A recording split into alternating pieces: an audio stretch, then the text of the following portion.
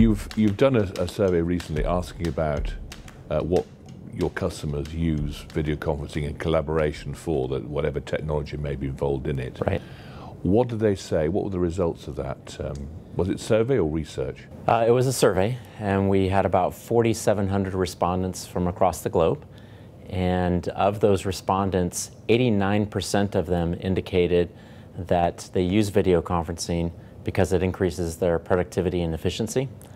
Uh, and if you were to look back probably three to five years ago, uh, it would have been travel was probably the, the number one. So we're seeing uh, the, um, the value of, of video conferencing uh, and the benefits coming from that efficiency and productivity. The second was, I think 87% of the respondents indicated that it, um, it increases and, and speeds up decision-making processes.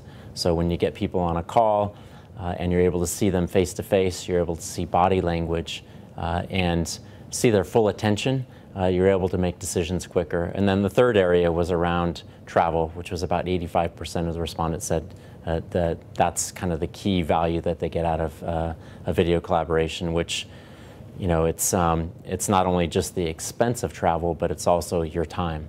You know, if, you, if you're flying cross country to go see a client uh, and it takes you two days to do that, it's not just the cost of that travel, but it's also the time that you have to take uh, in order to, to, to make that trip.